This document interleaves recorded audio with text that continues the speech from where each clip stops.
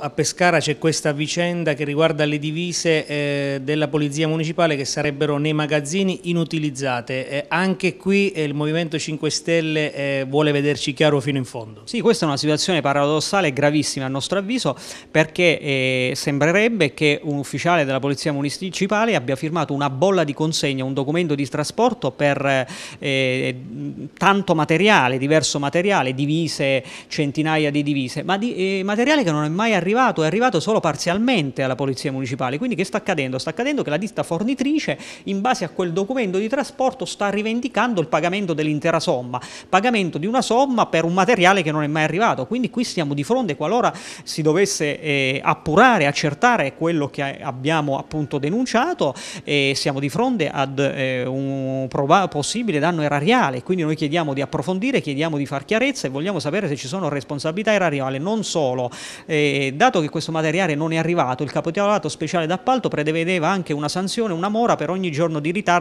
di, di, ogni giorno di ritardo. Non è stata applicata neppure questa norma, questa mora e quindi siamo di fronte a un ulteriore, dove confermato, un ulteriore danno erariale. Questa è una, una situazione allucinante che potrebbe configurare anche reati penali, non solo contabili, e quindi credo che l'amministrazione comunale debba farsi subito carico. Abbiamo apprezzato l'intervento dell'assessore Adelchi Sulpizio che dice di voler fare chiarezza e dice di aver chiesto una relazione alla Polizia Municipale, aspettiamo questa relazione, ma in tempi brevi, in tempi brevissimi, e c'è anche un'interrogazione nostra depositata al sindaco di Pescara.